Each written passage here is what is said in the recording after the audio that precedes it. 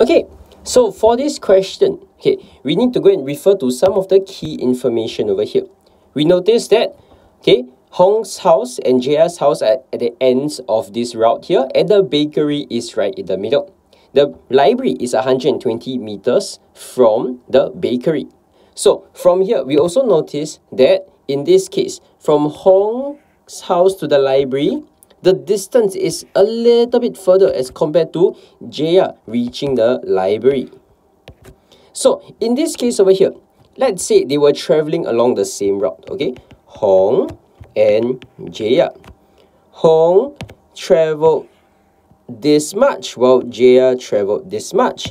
And let's say I'm going to write the arrows in, you can see.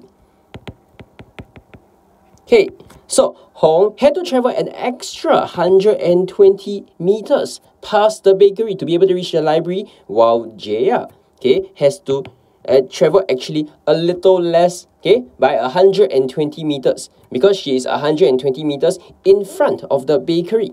So from here, we should be able to see something already. Now, what's the thing that we see?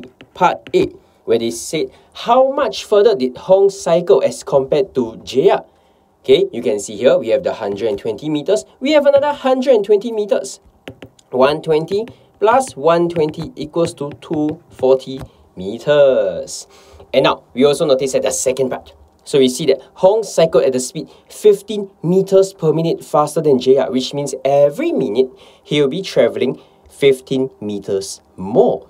Now, you notice at the very end, he actually traveled an extra 240 meters as compared to JR.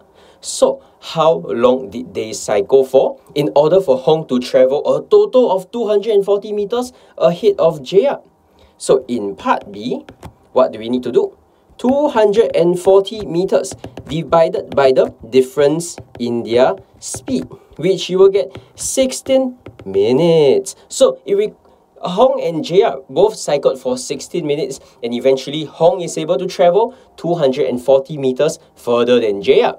So we know that they cycled for 16 minutes. Now we use JR's speed to be able to calculate JR's overall distance traveled.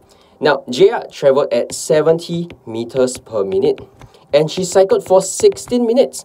This means that her distance from the library is actually 1120 meters or written as 1.2 kilometers.